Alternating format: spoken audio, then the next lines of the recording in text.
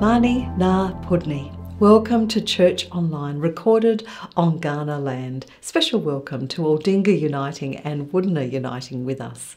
My name is Lynn.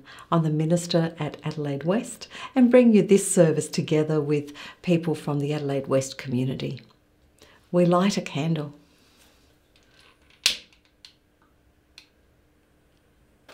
Remembering that God is at work in the world and in our lives.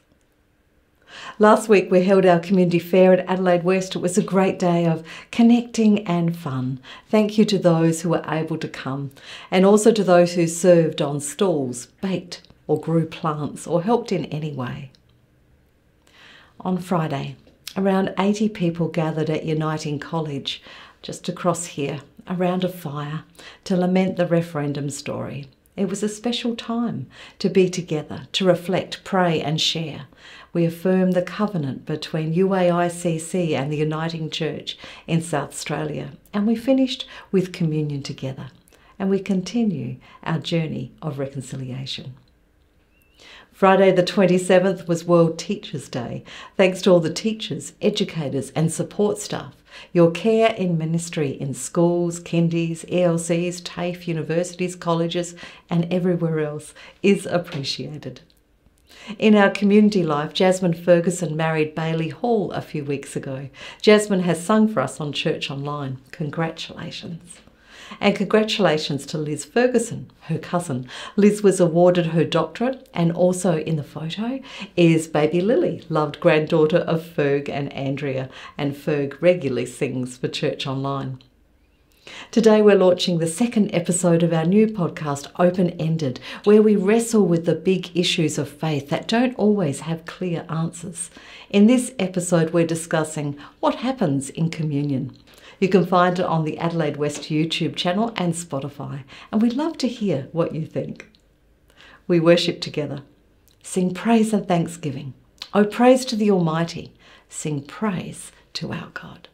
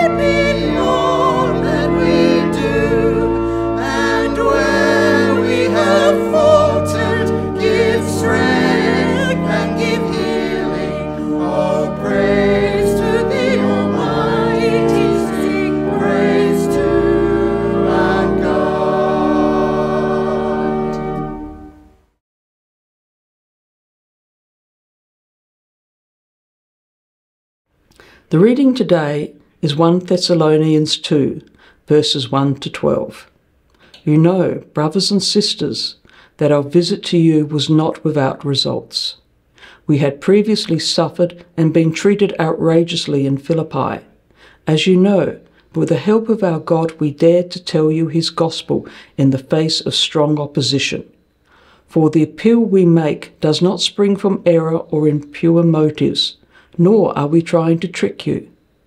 On the contrary, we speak as those approved by God to be entrusted with the gospel. We are not trying to please people, but God, who tests our hearts. You know we never use flattery, nor did we put on a mask to cover up greed. God is our witness. We are not we're not looking for praise from people, not from you or anyone else, even though, as apostles of Christ, we could have asserted our authority. Instead, we were like young children among you. Just as a nursing mother cares for her children, so we cared for you. Because we loved you so much, we were delighted to share with you not only the gospel of God, but our lives as well. Surely you remember, brothers and sisters, our toil and hardship. We worked night and day in order not to be a burden to anyone while we preach the gospel of God to you. You are our witnesses, and so is God. Oh, how holy, righteous, and blameless we were among you who believed. For you know that we dealt with each of you as a father deals with his own children, encouraging, comforting, and urging you to live lives worthy of God, who calls you into his kingdom and glory. This is the word of our Lord. Thanks be to God.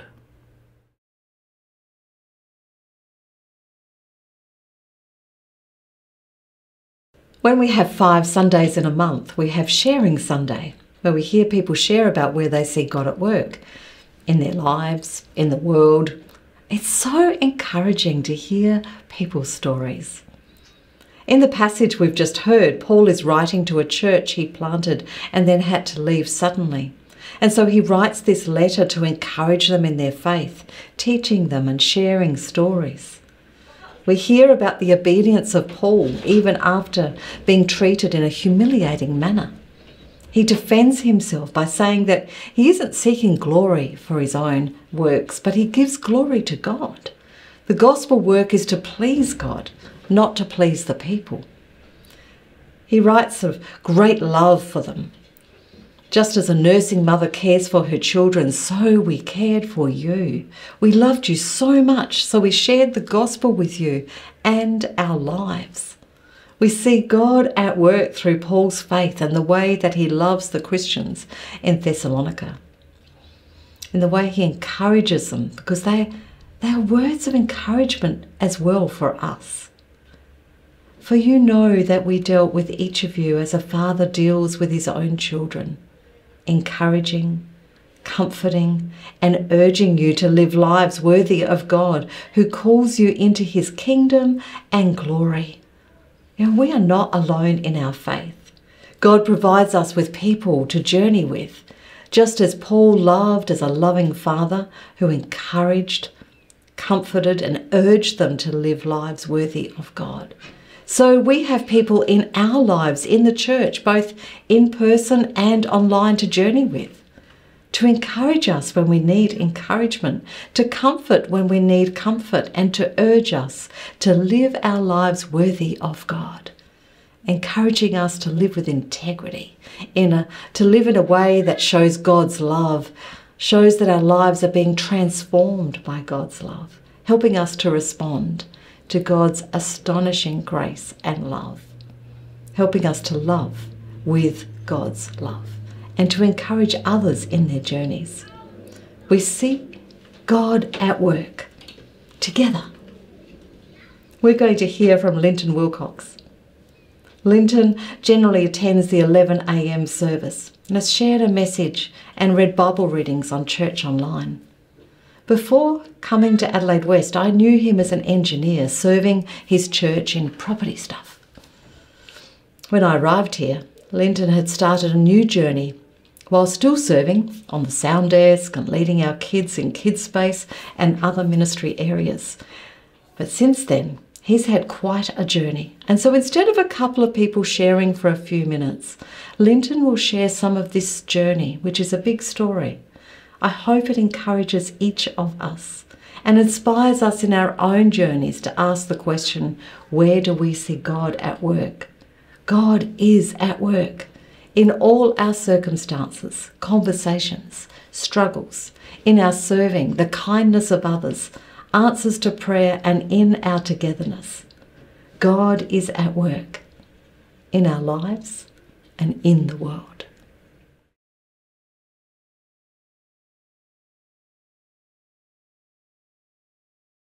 Almost two years ago, exactly to this day, I stood here and shared the story of my beginnings to becoming a hospital chaplain. I'll just give a brief summary. With little warning, in May of 2016, I was made redundant from a senior engineering role that I loved. I was good at it, and I thought it would be my job until retirement. I was comfortable, content, and the redundancy came as a complete surprise. It hurt me deeply. There are many negative feelings I associate with that time, when life as it once was had seemed good, stable, ongoing, even indeed blessed by God. It was suddenly no longer, and the future anything but certain. I guess for others it might be a major family crisis a critical or terminal illness, a serious accident, natural disaster, or even a global pandemic. For a while, I was at a loss to understand who I was and what to do about it. But I did know I was loved and that people were praying for me. Through this life changing event, I came to see God was at work for my good, and I became grateful for that redundancy, and it is in fact growing. I sensed God saying to me that this was an opportunity for a new beginning. It allowed, in fact, encouraged me to investigate unusual, even radical alternatives. And this ultimately led to my undertaking a unit of clinical pastoral education, or CPE, at the Ashford Hospital during the first part of 2021 under the supervision of Reverend Liz Dyson, well known to many of you and this included 20 weeks of one day per week placement in the hospital as a volunteer pastoral care visitor. It was a thoroughly positive experience. I encountered the joy and privilege of facilitating and providing meaningful pastoral and spiritual care within a hospital setting. I warmed to being present with the people I met and in being able to offer them companionship, compassionate care, active listening support and comfort for them in their health journeys. So, two years ago, has it really been that long? At that time, I last shared, thanks to that unit of CPE, I was actually providing paid coverage for a short term chaplaincy vacancy at the Royal Adelaide Hospital. And that commenced in July of 2021 and eventually continued right through to the end of that year, a period of six months. Well, what's happened in the last two years? Well, early in 2022, I did five months of one day a week with Lutheran Disability Services as their sole chaplain to staff and clients. But there wasn't a happy end to that when the initial contract was not renewed. But there has been a link to that with this Shout for Joy service that we now have. So, not all bad, in fact, plenty of good. In February and March of 2022, I was asked to do two months at two days a week at the Queen Elizabeth Hospital, and that was mostly in the mental health wards. In July of 2022, there were two weeks I was asked to cover for three hospitals the Memorial, Ashford, and Flinders Private, all part of the ACH group. And from that, in September and October of 2022, two months at the Memorial Hospital as the sole chaplain covering while a new hire became available. In November of 2022 through to February of 2023, I spent four months at both the Calvary Adelaide and Calvary North Adelaide hospitals doing two to three days a week. And from March to the end of June 2023, four months again at the Royal Adelaide Hospital providing supply. All but the LDS role were hospital chaplaincy jobs. They were all set in fixed terms and they were casual in nature. And with the exception of the Calvary positions, all the hospital roles were through the Uniting Church. And now, of July 2023, I have been made permanent part time in the Royal Adelaide role. And this has involved a specific commissioning by the moderator, no less. And you can read all about that in the latest edition of New Times that I'm standing here today, commissioned by our Uniting Church into the role of a chaplain and given this title of pastor, is somewhat of a surprise, and I'm still humbled to accept it. I conclude this must be of God's doing. How else could it be so? But let's, let's just go back. From the very early on, there was questions raised with me. Should I actually do a period of discernment? I might abbreviate that to POD. For several reasons, but mostly because I did not sense a call to congregational ministry, which is the more usual reason for doing a POD, it took me well over a year to decide a POD was in fact appropriate. And with that, I formulated it around testing this call to chaplaincy and the serving of God outside the physical church through ministry to those at the margins. I thought at the time that was with the sick and dying in hospital, but also I was involved in prisons and working with those impacted by incarceration. So I formally undertook the POD through the second half of 2022, and that concluded in May of this year. It was very worthwhile and a positive experience, and I can highly recommend it. Well, has this POD enabled a testing for the call to chaplaincy? To be honest, for much of the POD, it felt obvious to me that the answer was a clear yes, and I longed for others to see and affirm that. However, I was also aware of the temptation of simply proving a preconception and seeming to rush others, given that this journey had commenced in me well before the POD process. The value of the POD has been to allow time to reflect, undertake some targeted studies, obtain further experiences, and to share more widely and deeply with like minded people especially key people within the Synod, the Presbytery, and across the road at the college. In amongst all that has been the reality that chaplaincy, and hospital chaplaincy in particular, has kept coming my way. An example being the unsolicited offer to join the pastoral care team at Calvary in a casual capacity that was made on my very last day at Memorial and another being the call from Synod personnel in mid January asking me to consider returning to the Royal Adelaide role for March. Indeed, when I asked when I was asked if I could summarise my discernment into a single statement or picture, I remember looking at my desk and seeing these five hospital ID badges sitting there.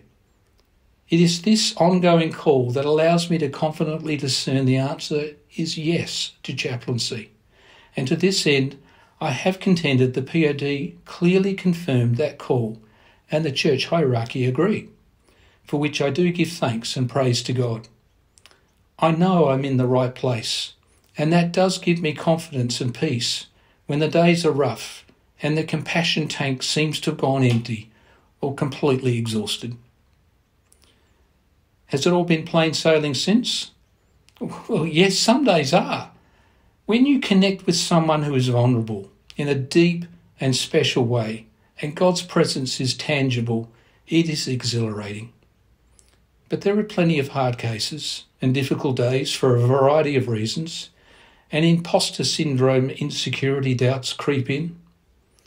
Finding balance, recharging oneself, and ongoing sustainability are my current challenges. But I have a supportive faith a church community behind me, and a good team at the hospital, and a great God. I remind myself of the Emmaus Road in Luke 24. This is the biblical metaphor. And the servant song as well, which is the song that combined to inspire and inform my identity and practice as a chaplain. Sharing a journey, walking alongside, seeking understanding together, sitting in common uncertainty and patiently bearing confusion, joys and sorrows, fears and relief, and just being a servant. I'd like to finish with a blessing that was made at my commissioning, and I offer that as a blessing to you.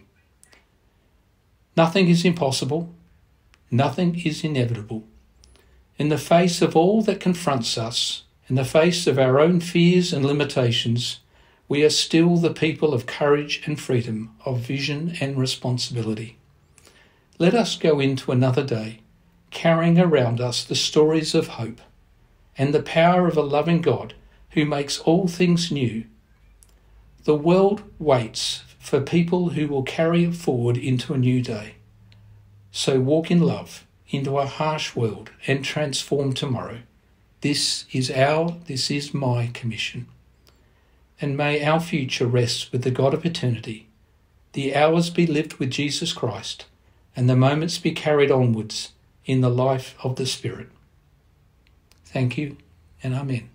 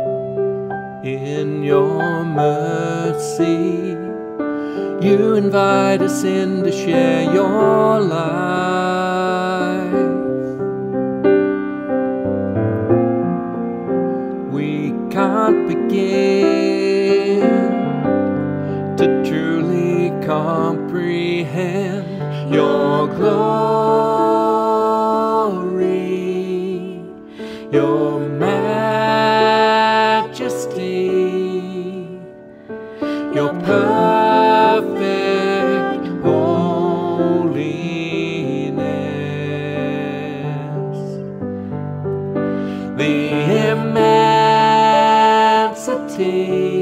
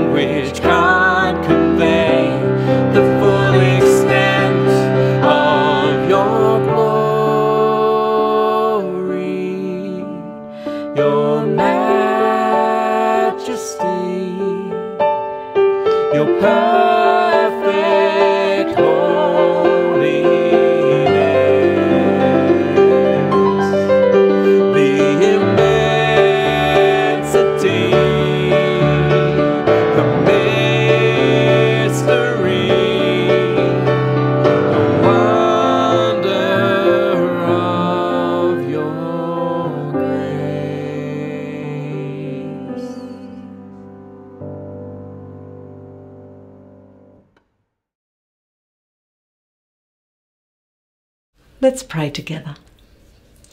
Loving God, we thank you for your abundant and gracious love, your astonishing grace, grace we cannot truly comprehend. Thank you that you are at work in our lives, in all our circumstances, and in the world.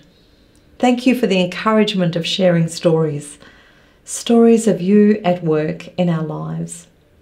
We're sorry for those times that we do things, think things, say things that separate us from you or us from others. We thank you that these things and all our sins are forgiven. Help us to share that story. Help us to encourage others in their faith, to be a comfort, and to see you at work, even in this coming week, and to share the stories of where we see you at work. We lift before you a world deeply in need of love and care. We pray for the most vulnerable people around the world, for the people of the Gaza Strip, Ukraine, Syria, Yemen, and Ethiopia living under the shadow of war. Lord God, we pray for peace. For all those who have fled their homes seeking sanctuary, we pray for protection and comfort. We bring before you all those living under the threat of debt, poverty, climate destruction, and violence. And we pray that they may experience justice within their lifetimes.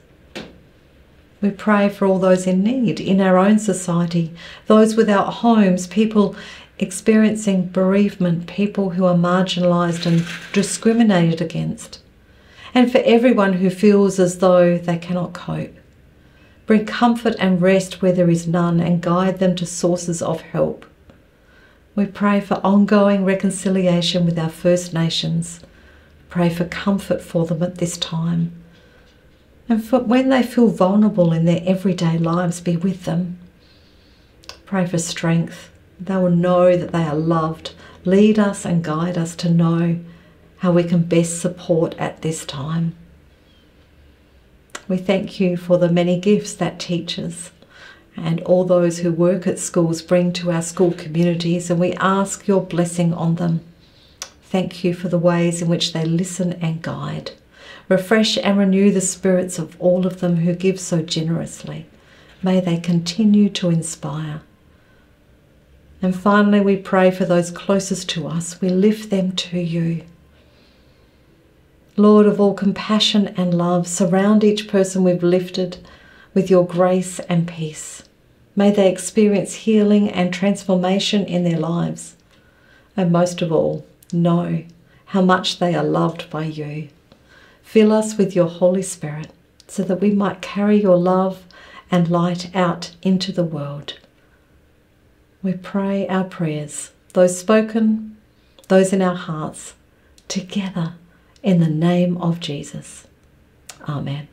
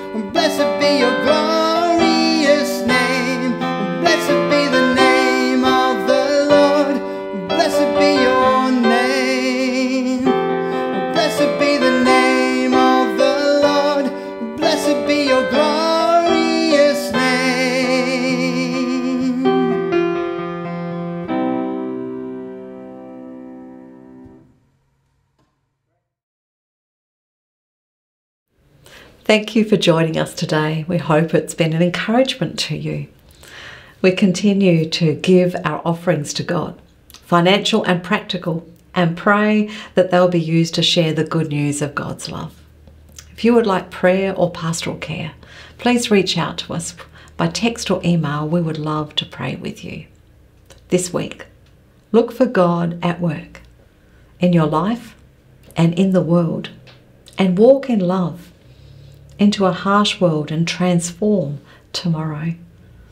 May the grace and the kindness of our Lord Jesus Christ, the love and presence of God, the friendship and unity of the Holy Spirit be with you now and remain with you always as you seek to follow and serve our great God.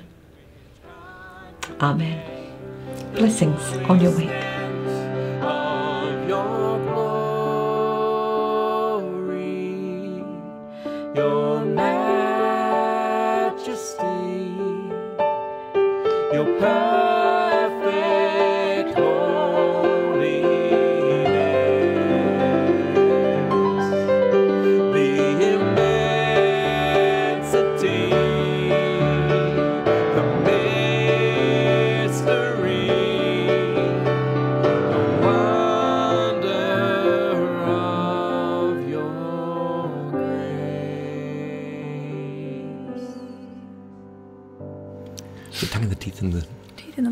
Lips. the The tip of the The tongue tip of the the tongue and the teeth. and the lips. Yes.